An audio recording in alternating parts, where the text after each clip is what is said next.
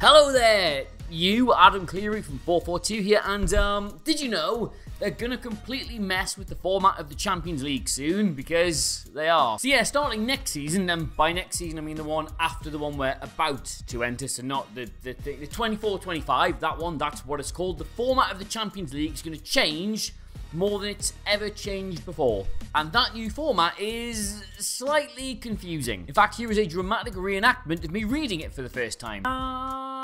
So yes, ever the guardian of truth, justice, and at least one nice diagram, 442 have sent me here to explain to you how it's gonna work. So,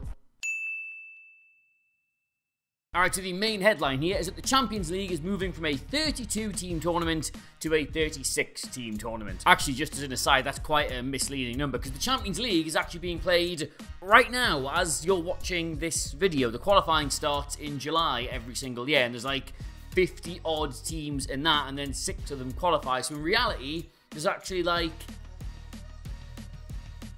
70 something teams. But the Champions League proper, what your dad considers the Champions League, 32 teams. And the thing about 32 is it's a nice round number to have a tournament with. It divides into two all the way through to getting one winner. So if you want to expand a 32 team tournament, you've kind of got to move it to 64 teams. That would mean the top eight in the Premier League qualifying. You could get like four teams from Scotland, and that would be great news if you're fucking Kilmarnock or something, but it would make for a very weird tournament. So instead, they're just adding another four teams to take it to 36, but of course, because that's not that nice round number, you've got to mess with the format to make that work. And mess with the format they certainly are, because there's no more groups anymore. It's one big league with all the teams in it, and you'll play a certain number across the campaign. And the middle group, they'll go through into the next round, and the top group, they'll get a bye into the next next round, and then we go back into a knockout thing before we finally get a winner. Now, I will, I promise, show you exactly how that works, but first, I just want to tell you why they're doing this. So this new format takes you from 32 teams to 36. It takes you from 125 games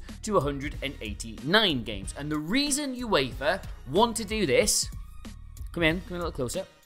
Just, more, more, come on, on. This is an exclusive for 442, by the way. The reason is money. They're doing it because of money. It's literally just about money. They want to make more money.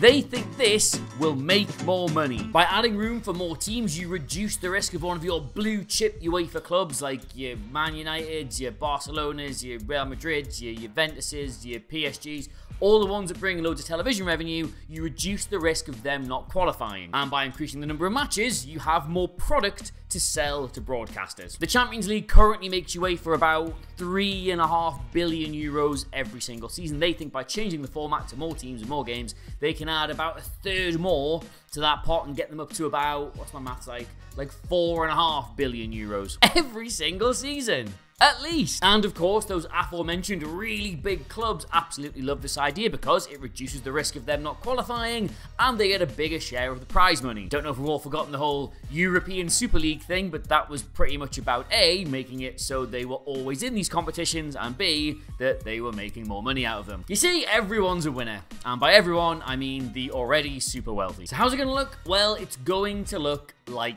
this. As you can see here, it's going to be one big league table full of all that season's Champions League teams. And the way it works is that each team will play eight games against random opponents, four at home and four away. And what I mean by random is there will still be some seeding and some clever way of working it out, but it won't be like the group stages where you and three other teams all play each other. The games will feel really varied and you'll get a bit of everything. Now, they originally did want to do 10 games each, and oops, lol, awkward, France just relegated two extra teams this season, so they would only have 18, so they could make room for the extra fixture congestion. But no, the clubs have convinced them, let's only do eight, let's keep it relatively sane. Now, after these initial eight games, the teams ranked 9th to 24th will move into a two-legged, one-off knockout round. This will whittle them down from 16 to 8, and those 8 teams will move into the last 16, along with the top 8 teams from the original league table. So does that make sense? The last 16 is comprised of the top 8 teams in the league, they make up half of it, and then the the other half is the next 16 teams having a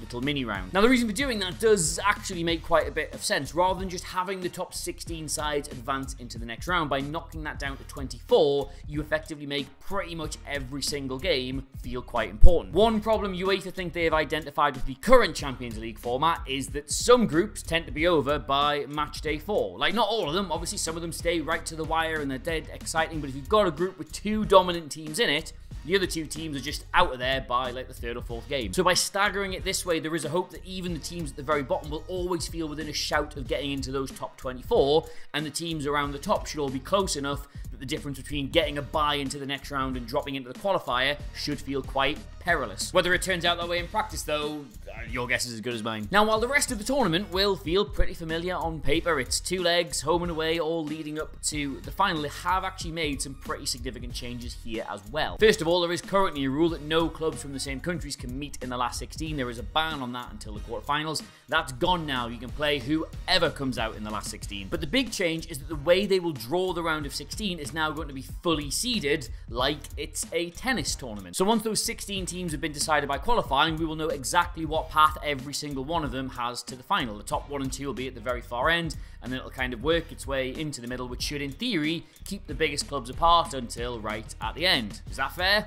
I don't know, but that's how most sports do it. Now, I will say there is something quite exciting about that. Like, if two teams are absolutely dominant in that first group stage, the only possible time they will meet again will be literally right in the final. Now, that's how it works, but who's going to be in it? Well, out of those 36 teams, the first 32 will just be exactly as they are now. Like, it's all based on UEFA's national coefficient, so English teams do very well, so we get four teams, and then the Spanish do quite well as well, so they get four teams. So that'll be exactly as it is now, but obviously there are four more places to allocate. For two of them, they're going to use this slightly complex system where last season's performances in European competition is also bundled together, and whichever nation does the best, they'll get one of those. So right now, that would be England, and I think Netherlands would get it as well, because Ajax and other teams did reasonably well. Anyway, so more than likely, there's going to be five Premier League clubs qualifying for the Champions League every season once they make this change. Weirdly, this could actually lead to a scenario where seven Premier League clubs are all in the same season's Champions League, because you'll have the top four, they'll be there, won't they? And it might be a year where they get the additional coefficient play, so that'll be the top five. And if by some weird circumstance the actual holders of the trophy aren't in that top five, they'll be there as well. And if an English team wins the Europa League the season before, they get an automatic qualification place. So that would be That'd be nuts, wouldn't it? So there you go. That's how UEFA plans to make loads more. Sorry, what am I saying? That's how they plan to reformat the Champions League. That's what I meant to say. Hope that makes sense because now my brain hurts. So please let me know if you understand it in the comments below. And if you have any questions, I've been doing a lot of research on this. Been reading a lot of stuff. So if I've missed anything and you've got any quandaries, please let me know and I will do my best to answer those. In the meantime, though, if you like this kind of thing, why not subscribe to us here on 442? It's a really good YouTube channel. I think so. And while you're at it, get me on Twitter Threads, Instagram, everywhere I exist. Adam Clery, C L E R Y. That's my entire outro. It's too hot in this room. I'm going to say goodbye now. Goodbye now.